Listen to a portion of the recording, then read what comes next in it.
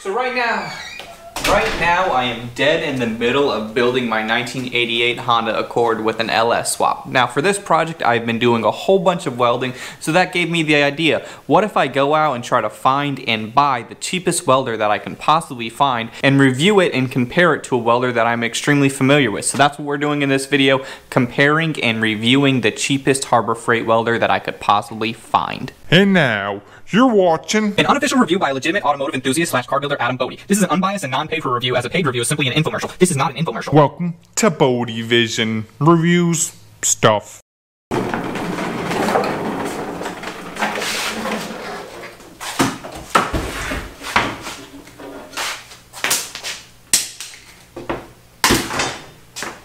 Hey, so what is up and welcome. Thank you so much for joining me on the first episode of BodeVision Reviews. Now, what exactly is BodeVision Reviews, you might be asking. Now, those reviews, they're just going to coincide with whatever I'm working on at the time. For example, I've been doing a lot of welding, like I just said in the intro. So today I'm going to be comparing and reviewing two different welders. We have a very cheap, this is a 90 amp flux core welder from Harbor Freight. I just bought it super cheap online, so that's gonna be one of them. And then the other one that we're looking at is my Hobart Handler 210. I'm extremely familiar with that one. I learned a lot on a welder just like this. So the first thing that I wanna do with this review is I want to get into some hashtags. Wait, some numbers. Let's get into some numbers. So I'm going to break these numbers down into five different categories. The first one is going to be the amp output range.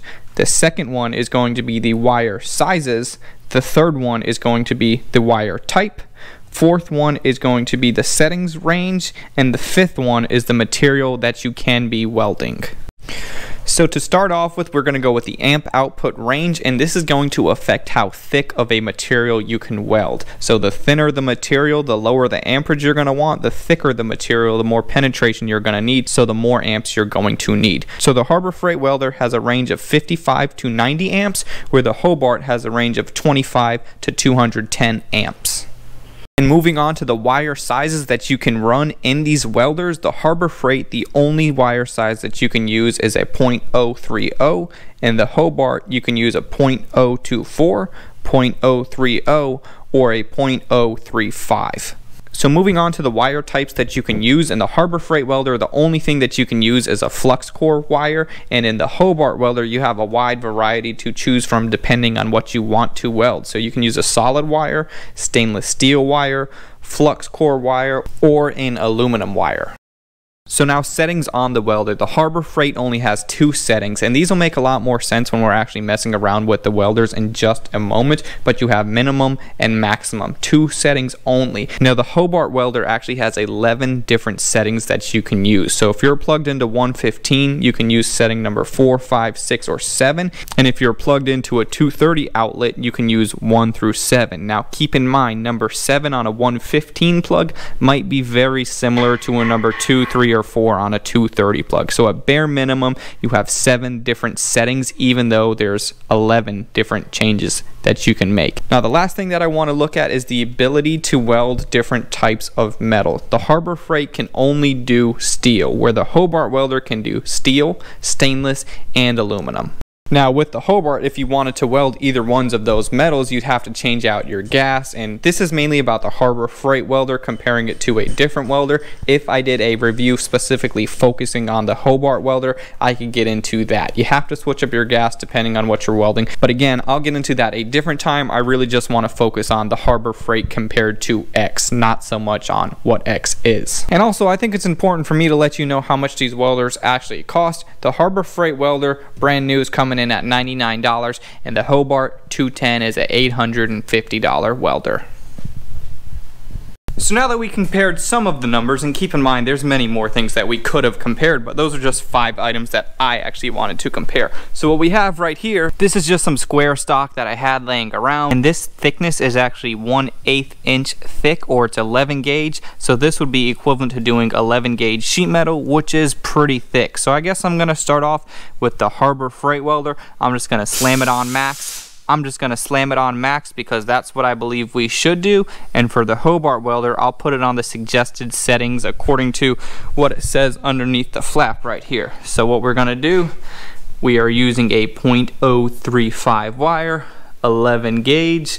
Then over here, so we're doing 75, 25 argon and gas. So that says we should have it on number five and 40. So if you go over here, we'll go number five and then right there is 40. So suggested setting for the Hobart and just max for the Harbor Freight. And another thing that's important to note, I'm going to try to replicate the technique from one to the other. In other words, I'm going to try to weld them out the exact same way so that way we can really see the difference in the machines as opposed to me. I want to stay consistent. The inconsistencies will be shown with the machines. So here we go, cheapo depot, hook up your ground.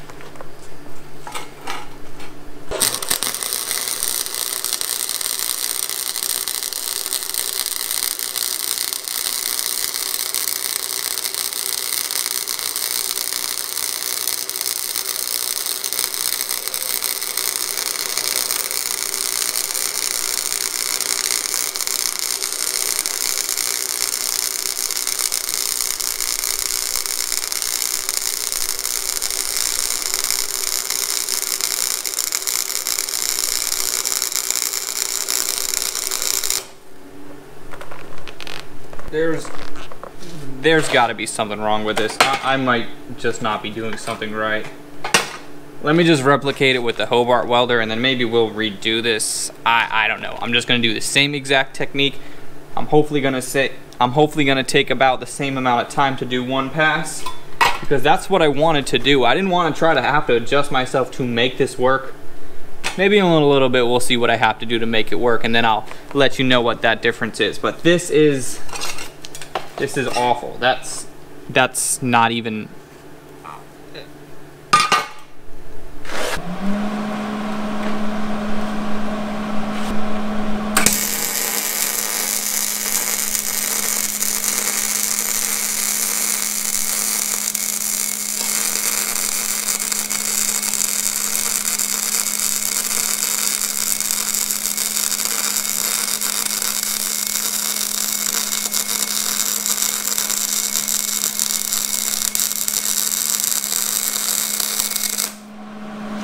that right there, that to me, that's a nice decent weld. Now the wind really picked up as we got to the end so my shielding and my gas got a little bit messed up. But that, to me, in my opinion, being not a professional welder, that is definitely passable. Good penetration, good heat, looks really nice. Now again, besides the end, that's what it looks like when the wind started to pick up. Now if we're in the shop, we don't have to worry about that. This looks good. I don't know what is going on with this. Now again, that was me being consistent with how much time I spent on it and how much I was moving. So I did two steps forward, one step back, two step forward, one step back. That's exactly how I did this. And that looks good. Besides the end, this, that's, that's awful. So I think with the Harbor Freight welder, the one that you can see is right here, which is an absolute catastrophe the penetration was just not even there at all. Maybe 90 amps, no, not maybe.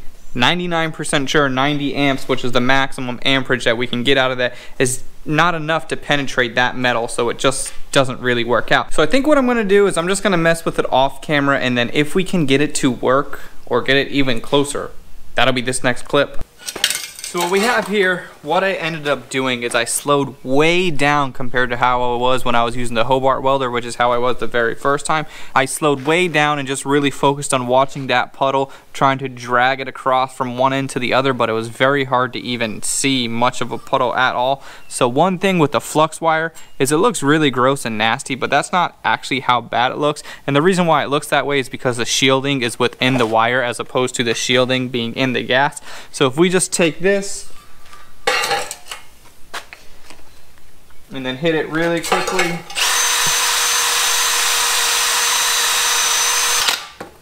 See, just like that, it actually looks a lot less awful than it did just a second ago, but I don't know how I feel about how much I would trust this for any kind of structural welding at all. It might look okay, and also, I don't know if you can see underneath, you can actually see some penetration through the metal. So this, this might work if you're just kind of throwing together something kind of quick and cool. But if you're actually building a frame of a car or anything that serious, I wouldn't use this if you're just whipping up like a go-kart or just have to weld something together for a table this would be just fine. So now that we did some thicker metal and we did some angle joints, I wanna do some thinner stuff just right here. I don't know exactly what gauge this is. I think it's 18 gauge, I believe. I don't know, just something that I had laying around. So I wanna go ahead and whip that up and do a lap joint. I wanna compare the Hobart. I'm gonna do the exact settings that it recommends for an 18 gauge sheet metal.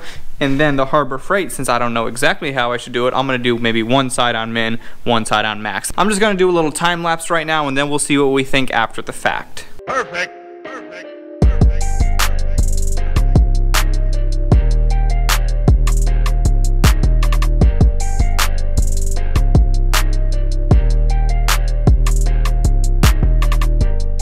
So now taking a closer look after welding up some thinner sheet metal, there's some pretty big differences. So starting off with the cheap welder, the Harbor Freight welder, this looks pretty gross. Keep in mind, this is on minimum. I didn't even go to maximum because I was having a hard time not burning through. So the penetration is there. The penetration is good.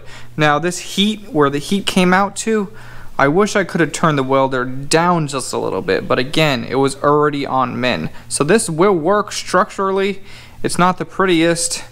A lot of spat going on, looking pretty gross. And then here's from the Hobart, that's looking a lot better. And if you can see the difference in the heat, how this is really nice and tight, pretty close to the weld. And this goes pretty far out all the way to the edge of the metal. So I would have liked to turn this one down a little bit and keep in mind this is the Harbor Freight one, this is the Hobart one. So that looks a lot cleaner, a lot nicer. That one looks really good. This one doesn't look as good. I wish I could have turned it down a little bit, but this one will definitely work. Harbor Freight will work, Hobart will work as well, but it looks a lot better. So with the Harbor Freight welder, the $100 welder, what are my final thoughts on it? Is it good enough to use if you just need to do a couple things on the weekend? Well, sure. Is it good enough if you have a bigger project like completely welding in a frame and doing custom tubs on a car? I don't believe so. So it just really depends on what you're doing. You gotta ask yourself, how often are you going to be using it? And now, of course, this is the very bottom of the barrel welder, the $100 Harbor Freight welder. The $850 Hobart 210 that I'm using, that's a couple steps up. Now keep in mind, there are so many more steps up that you could possibly go, and there's a couple steps in between. There's some 300 to $500 welders that are great. I know Lincoln makes one. There's a couple other ones that those might be a better alternative for you than the $100 welder. But if you really want to be serious about it, spend the extra $200 or so to get yourself a machine that's a little higher quality. Again, that's the bottom of the barrel machine. Will it work? Yes. Is it the nicest? Absolutely not. Is it the cheapest? Yeah. But will the cheapest work? I guess so, kind of. It just depends what you're doing. So the main reason why I would not buy the Harbor Freight welder is because that amp range is just too small of a range. As you saw, it's a little bit too hot for thin stuff and not quite hot enough for thicker stuff. So you're restricted by that 55 to 90 amps where the Hobart one goes all the way down to 25 and all the way up to mm, whatever I said it goes up to. I don't know exactly what it goes up to, but that gives me a better range in everything that I need the Hobart welder to do, it does. So I don't have any complaints about that, but that's for me personally. Your situation might be a little bit different, so ask yourself, for your situation, will this work for you? So as far as the BodeVision reviews videos, I hope you liked it. If you did like it, please leave a like. Those likes really go a long way. I wanna start promoting to get my videos liked a little bit more because if they're liked more, they're gonna get out more. The more they get out, the more revenue I have coming in to do cool projects like putting a LS in a 1988 Honda Accord. And speaking of my 1988 LS swapped Honda Accord, I promise you that is going to be the next video because I'm gonna start working on it now. So thank you guys so much for watching. Like this video, comment, subscribe. Check out the merch. Do all the stuff. You know what it is, YouTube. I'll see you on the next one. I'm out.